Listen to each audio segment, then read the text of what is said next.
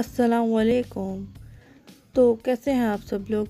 Cooking with Kayani में आपका बहुत सारा वेलकम इंट्रोडक्शन से ही आप समझ गए होंगे कि मैं घर नहीं हूँ तो आज मैं आई हूँ चेसअप पे।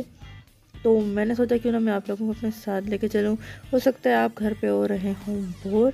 तो चले मेरे साथ चलते हैं आज शॉपिंग पे। तो बस हम आए थे, हमने काफ़ी सारी चीज़ें ले ली थी। फिर एंड में हमें याद आया कि कुछ हम लोग नगट्स वगैरह भी ले लेते हैं और प्रॉन्स वगैरह भी ले लेते हैं। तो बस फिर हमने यहाँ से लिए नगट्स और नगट्स लेने के अलावा हमने यहाँ से लिए प्रॉन्स और ये जो है ना 650 में थे 10 प्रॉन्स थे। मतलब काफ़ी एक्सपेंसिव था एक वे में कि मतलब प्रॉन्स कितने कम थे।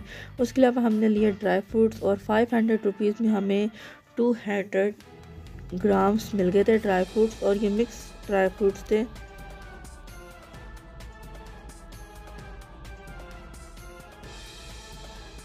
बस हम लोग ढूंढ रहे थे कि हमें पुडिंग मिल जाए तो फिर वो भी मेरी सिस्टर कह रही थी कि हमें लेनी है। तो जब मेरी सिस्टर बनाएँगी पुडिंग तो मैं आपके साथ रेसिपी ज़रूर शेयर करूँगी, जो कि मैंने कभी भी स्वीडिश नहीं बनाई है और मुझे बनाने नहीं आती। तो बस फिर हम यहाँ से ले रहे थे कुछ चॉकलेट्स और काफ़ी सारी हमने चीज़ें ख़रीदी थी, काफ़ी सारा बिल बन गया था। बस फिर हम जब निकलने लगे तो हमने देखा कि ये एक सेक्शन बना हुआ था जहाँ पे फ्राइज़ मिल रहे थे। तो बस हमारा दिल हुआ क्यों ना हम लोग ये फ्राइज़ ले लें। तो हमने गार्लिक मायो फ्राइज़ का ऑर्डर दिया था और बस ये बन रहे थे। तो हमने कहा, चलो हम आपके साथ भी शेयर कर लें। आपको हम बताएँ कि हमने आज के दिन क्या खाया है? और अगर आप चाहें तो आप चेज़अप के सामने ही बिल्कुल है ये। इसका नाम है फ्राइज़ फुल। और आप यहाँ आके ले सकते हैं। तो ये गार्लिक मायो फ्राइज़ ये होते वन फिफ्टी में थे। बस फिर ये कुक हो रहे थे। और ये इनने अपने ख़ुद के मतलब होते हैं ना, ऐसे होते हैं, खुद आलू कट करके और सब कुछ बनाते हैं। ऐसे कुछ भी नहीं है, बल्कि इनने जो है कोई ब्रांड था। तो उसके थे फ्राइज़ मतलब फ्रोज़न फ्राइज़ थे। तो आपको पता है फ्रोज़न फ्राइज़ तो वैसे भी इतने डिलीशियस और इतने यमी होते हैं।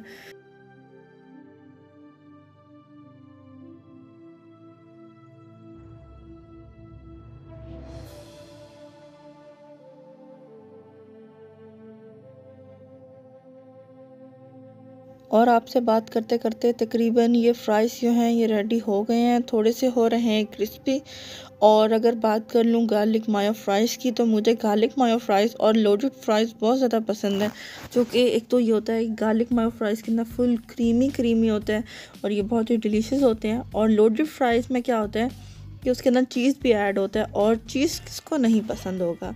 चीज़ इतना डिलीशियस और इतना यमी लगता है जब किसी भी चीज़ पे इवन के पास्ता पे और, या आप फ्राइज़ पे जिस चीज़ पे मर्ज़ी ऐड कर दें, चीज़ बहुत अच्छा लगता है, मगर यहाँ पे चीज़ फ्राइज़ के ऑप्शन था, लेकिन मैंने वो नहीं लिया। हमने सोचा हम लोग गार्लिक मायो फ्राइज़ ही ट्राई करते हैं। और देखिए, तकरीबन ये हो चुके हैं रेडी तो इसके अंदर ये जो है ना गार्लिक पाउडर ऐड हो रहा था। और मेरे ख्याल से इसमें थोड़ा सा चाट मसाला भी था, वो ऐड किया था और मुझे ये चीज़ अच्छी नहीं लगी मतलब गार्लिक मायो फ्राइज़ के अंदर ये लोग इसने मसाला ऐड किया ना, ये मसाला मुझे अच्छा नहीं लगा, क्योंकि मुझे पसंद है कि बस जस्ट सिंपल सॉल्ट हो और उसके ऊपर मायो हो गार्लिक मायो और या चीज़ हो लोडेड चीज़ बस।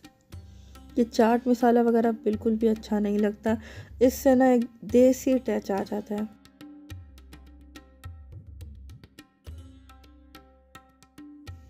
और मुझे ये बात बहुत अच्छी लगी कि मतलब एक तो गार्लिक मायो भी ऐड की, उसके अलावा उसने हमसे पूछा, आप बताओ क्या ऐड करूँ कैचअप ऐड कर दूँ, क्या चीज़ ऐड करूँ? मतलब देखें कितनी अच्छी बात है कि मतलब कोई भी हमसे नहीं पूछता, आम तौर पे हम रेस्टोरेंट पे जाएँ तो कोई भी नहीं पूछता कि बताएँ, जी, आपके लिए क्या ऐड किया जाए, कितना ऐड किया जाए? तो बस ये पैक हो गया था तो हमने कहा कि हमें चाहिए कैचअप तो उसने ये जो मस्टर्ड सॉस है ना मस्टर्ड सॉस में कैचअप था मिक्स और ये ऐड कर दिया। मैं आपको बताऊँ, इससे बहुत अच्छा टेस्ट आ रहा था।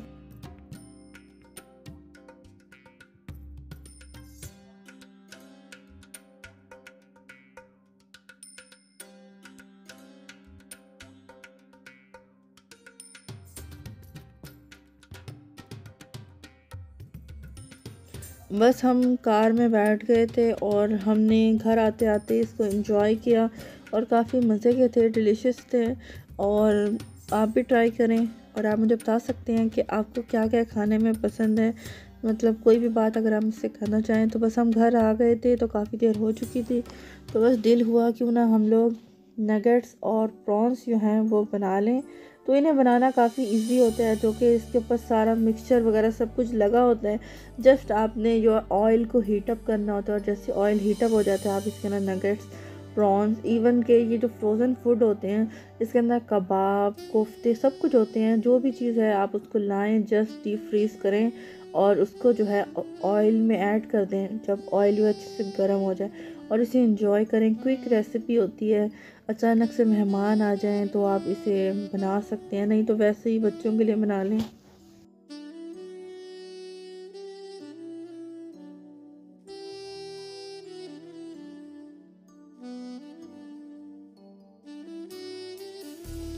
तो ये इजी टू कुक होते हैं, जल्दी से कुक हो जाते हैं और हमारे घर पे तकरीबन सभी से बहुत ज़्यादा पसंद करते हैं।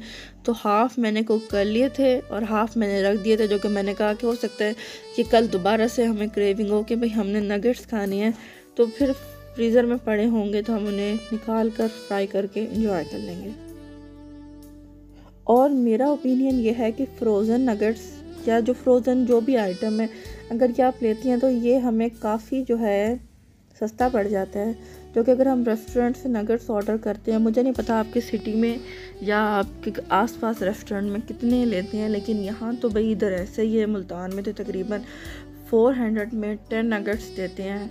और इस तरह रेट जो है वो बढ़ता जाता है। तो मुझे लगता है कि ये फ्रोज़न लेने में ये फ़ायदा है कि देखिए मैंने जो है सिक्स फिफ्टी में लिए हैं ये नगेट्स और इतने सारे थे कि हम सब घर वालों ने इंजॉय किया और हमने तकरीबन काफ़ी सारे फ्रीज़ करके भी रख दिए थे।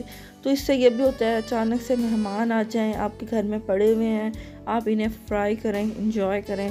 तो बस ये हो गए थे रेडी और अब हो रहे हैं प्रॉन्स फ्राई तो फिर हो सकता है आप मेरी वीडियो देखकर कहें कि जी ये प्रॉन्स जो हैं, ये हलाल नहीं है, ये कुछ है तो मैं आपको बता दूँ कि प्रॉन्स जो है, वो हलाल हैं। और उसको आप इंजॉय कर सकते हैं। अगर आपको नहीं पसंद तो इट्स ओके लेकिन अगर आपको पसंद है तो आप, मुझे श्योर है कि आप इंजॉय करते होंगे और इनका टेस्ट होता है काफ़ी अच्छा। तो बस अब हमने ये कर लिए हैं कुक और प्रॉन्स को कुक करना भी काफ़ी इजी होता है, जो कि इनको जो है ज़्यादा देर तक नहीं पकाते। अगर ज़्यादा पका लो तो क्या होता है, ये सख्त हो जाते हैं। और ये बिल्कुल बेकार हो जाते हैं। तो जस्ट आपने ऐड करना है और जल्दी जल्दी आपने निकाल लेना है, जैसे गोल्डन कलर आएगा। और आप इसे इंजॉय करें और बस मैंने जो है इसको इंजॉय किया विद ब्रेड और इसके साथ ही आज का मेरा व्लॉग हुआ जाता है ख़त्म। बहुत सारा ख्याल रखें, अल्लाह हाफिज़।